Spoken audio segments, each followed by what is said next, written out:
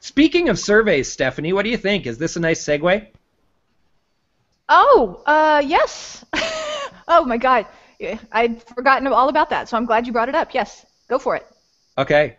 So we will be dropping into the uh, comments again um, a little later on because I don't have it available that I can drop it right now. But we have created a uh, questionnaire for next week's show.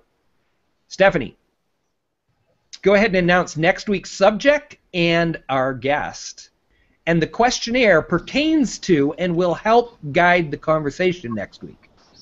Right. Our guest. So, so next week we are lucky to have Mark Seidel, who is joining us to talk about courage. And what we'd love for you to do is take, may, I think maybe it'll take you a minute or two if you have a quote that you want to post. But basically, it's a very quick survey where you're going to give us your take on courage in your business. And that's going to help us decide what's most important for you to hear about and how we want to talk about it next week when Mark comes on. Yep. We also want to hear your feedback on the idea of doing the surveys. We're thinking we'll actually do the survey as part of preparation for each week um, so that there's just another way that we can get insight from you guys. Right.